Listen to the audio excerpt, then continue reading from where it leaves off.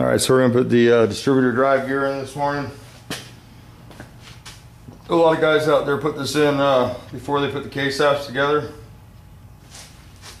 I was never taught how to do it that way, so this is the way I have to do it. I usually uh, take a long screwdriver and uh, put them in.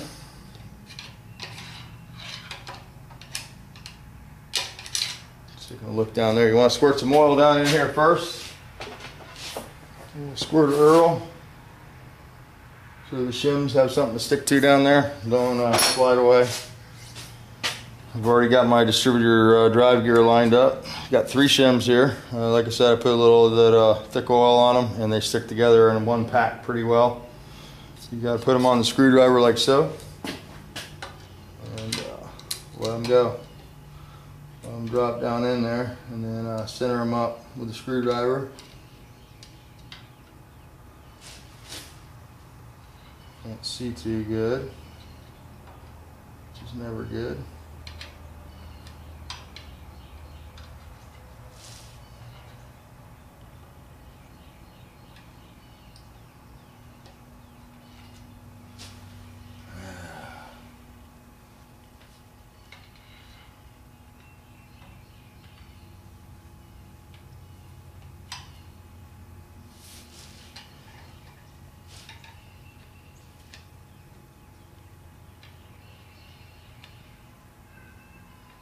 Your time and uh, get this part. Keep hitting it with a screwdriver coming out.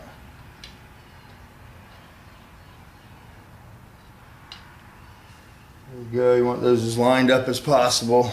Because uh, this next part can get difficult if they're not lined up. And uh, it might get difficult because this, this isn't easy to do. I know some guys uh, do this the easy way, but I was never taught the easy way, so.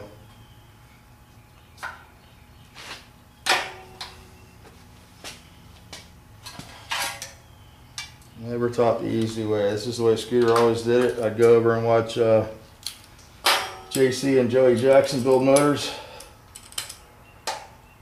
And uh, they didn't do it this way. They, uh, they actually uh, would uh, put the drive gear and distributor in before they put the case halves together. So there we go, we're lined up. We got our distributor in. I got to dig up a clamp for that. We're all good to go there. That's how uh, I put the drive gear in. I marked the distributor for number one. We uh, rotated the motor. It's on TDC, lined up with the case halves. The uh, intake valve was closing when we came to the top dead center, so we should be good to go. Um, I wanted to show you a little something something over here. I got to go to the doctor's today. I got this sprung on me this morning. That's how they get me to go now. They tell me the day of. So, getting a tumor check this morning. But, uh, so here we go. Let me show you uh, the difference here. This is something that you got to watch out for. This is uh, the push rods for the fuel pump. And uh, we got one that's long and one that's short. And uh, you want to make sure that if you're not sure, always start with the short one because it'll cause a lot less damage. The worst that happens with that is you have uh, no fuel pressure. This one, on the other hand, will uh, overpower the lever here and break it off. I do believe this is a short. I'm not really 100% positive. That's one thing I like about buying the pump triangle. They uh, sell a rod with every pump, just so you don't have this issue. Uh, this looks like a short to me. I'm going to try a short first because the uh, fulcrum point is right at the uh, baseline there. Uh, usually the long ones, the uh, fulcrum arm is upset, so it's up a little further in, in the body of the fuel pump. This is a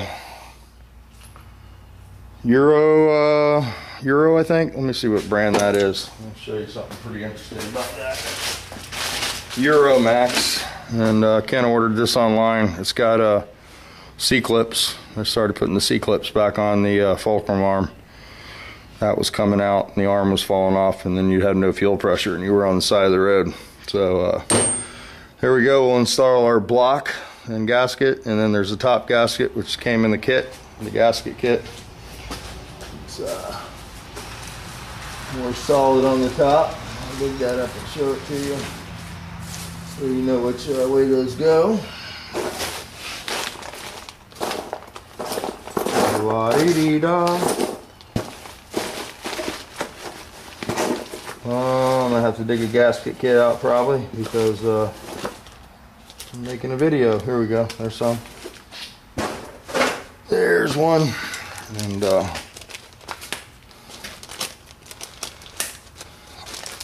this is a nice like uh, Felpro style gasket there. That's really sweet. But it only came with one of them and you need a top, top gasket. So here's the uh, top gasket here. You can see these things are getting so thin. They're like paper, like a sheet of paper. You could cut them out of notebook paper almost. Whoops, that one fell on the floor. Oh boy. Anyway, I'll just show you the comparison of this. Uh, this one's much uh, more robust than this. Uh, Got to be careful. These will push out with the silicone, go light. I usually use the Aviation Permatex if it's that uh, thin of a gasket. So there's our gasket combination. We're going to go with the uh, short push rod. Push that one back to the side. And of course, uh, it's gasket, block, push rod, gasket, fuel pump. And uh, yeah, so we're one step closer there on the 1600. Take you off. Our distributor in there. Get our cap on there. So there we go. That's number one right there for me. One, four, three, two. So that should work out pretty good. I'll uh, get those wires up on there. Get the carburetors bolted down. I got the uh, sheet metal holes uh, drilled and tapped. I put our uh, front pieces of sheet metal on here and uh, I just have to uh, install the generator and get that done and we'll be ready to go. So I'll do that when I get back from the doctor's. I'm looking forward to this trip. So we'll talk to you guys then. I'll take camera, I guess. I don't know if it's going to be good news or not. All right, so we're going to put the uh, distributor drive gear in this morning a lot of guys out there put this in uh, before they put the case halves together. I was never taught how to do it that way, so this is the way I have to do it. I usually uh, take a long screwdriver and uh, put them in. Just taking a look down there. You want to squirt some oil down in here first. Squirt Earl. So the shims have something to stick to down there. Don't uh, slide away. I've already got my distributor uh, drive gear lined up. Got three shims here. Uh, like I said, I put a little of that uh, thick oil on them and they stick together in one pack pretty well. So you got to put them on the screwdriver like so. And uh, let them go. Drop down in there and then uh, center them up with a screwdriver.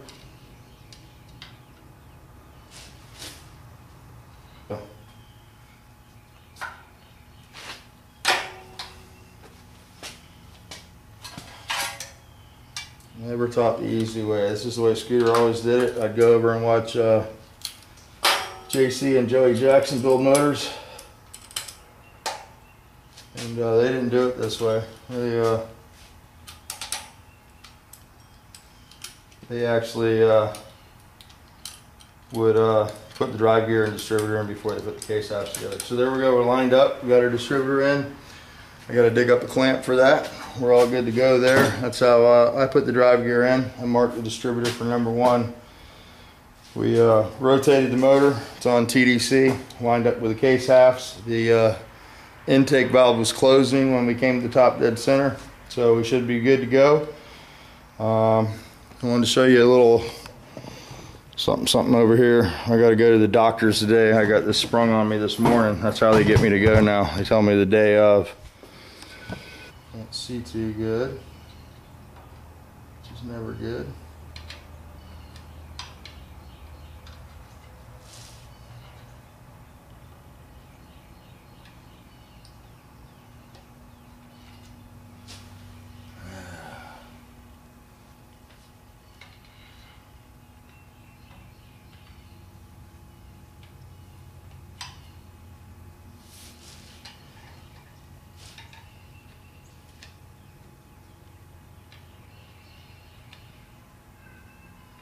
Take your time and uh, get this part. Keep hitting it with a screwdriver coming out.